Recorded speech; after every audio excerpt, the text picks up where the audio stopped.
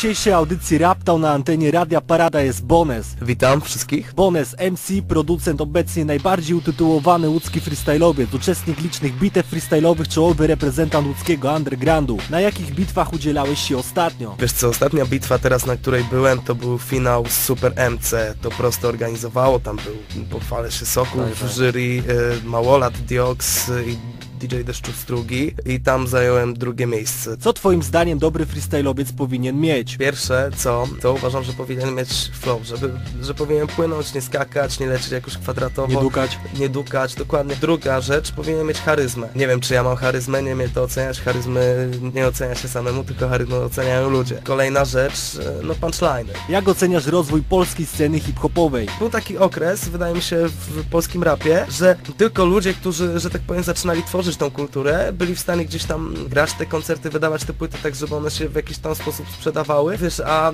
bardzo dobrze pokazuje przykład małpy, to jak ta różnica między tym tak zwanym legalem, a nielegalem się zatarła. Powiem Ci w ogóle, o tyle jest fajnie, że wiesz, rap zszedł po właśnie po tym okresie boomu, polski rap do takiej swojej niszy, ale bardzo dobrze sobie tam radzi, wiesz, yy, fajnie, bo teraz jest, wiesz, więcej możliwości, teraz nie potrzebujesz, żeby wydać płytę wielkiej wytwórni, możesz to zrobić yy, Własnym wła- tak, dokładnie, wiesz, yy, czy przez jakieś mniejsze labele, Jak oceniasz poziom łódzkiej sceny? Łódź ma bardzo specyficzny klimat, bardzo duży wpływ na to miały, wiesz, takie zespoły jak, wiesz, Funkadelic, później gdzieś tam Ostry, no, Afront? Afront, dokładnie, dokładnie. Mamy już w Łodzi dwa labele, jest to Embryo i jest to Centrum MDZ Label. No właśnie, Tak. właśnie. Co tam mógłbyś powiedzieć nam o tym labelu drugim? No, że jest kurde najlepszy na świecie, wiesz, nie ma lepszego labelu. Nie no, chciałem pozdrowić też wszystkich tutaj chłopaków. Wiesz, stary, to jest opcja, no to jest label Entera, teraz będzie wychodziła właśnie jego płyta. Wiesz, ten label dopiero zaczyna, że tak powiem, swoją działalność, więc normalne, że nie walniemy od razu, mm, kurczę, 10 płyt, wiesz, i premier w tym samym miesiącu. Co nowego od Boneza możemy usłyszeć w najbliższym czasie? od Boneza.